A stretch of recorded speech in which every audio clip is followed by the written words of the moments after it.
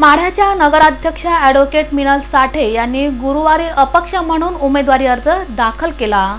एका राजकीय पक्षाचा पाठिंबा त्यांना मिळण्याची शक्यता वर्तविण्यात येत आहे. माढ्याच्या नगराध्यक्षा ॲडव्होकेट मिनल साठे यांनी माढा विधानसभेच्या निवडणुकीसाठी अपक्ष म्हणून गुरुवारी अर्ज दाखल केला. भाजप जिल्हा उपाध्यक्ष दादासाहेब साठे यांच्या त्या पत्नी तर माजी आमदार धनाजीराव साठे यांच्या त्या स्नुषा आहेत. माढा विधानसभा मतदारसंघात साठे गटाला मानणारा वर्ग आहे. गत विधानसभेच्या निवडणुकीत दादासाहेब साठे यांनी भाजप पुरस्कृत निवडणूक लढवली होती.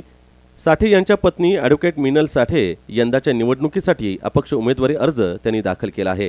मिनल साठे या सध्या नगरपंचायत माढ्याच्या नगराध्यक्षा तर जिल्हा नियोजन समितीच्या सदस्य आहेत. मिनल साठे यांना अन्य एका पक्षाचं तिकीट मिळण्याची दाट शक्यता राजकीय वर्तुळातून वर्तवली जात आहे.